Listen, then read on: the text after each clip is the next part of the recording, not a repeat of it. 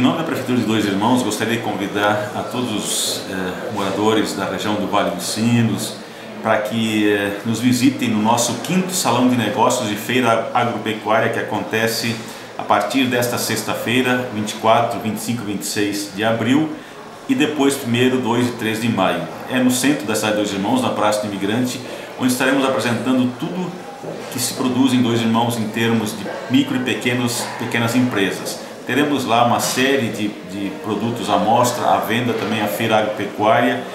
Realmente é um belo passeio, uma oportunidade para fazer negócios e apreciar a nossa cidade. Então fica o convite para que a partir da sexta-feira nos visitem em Dois Irmãos.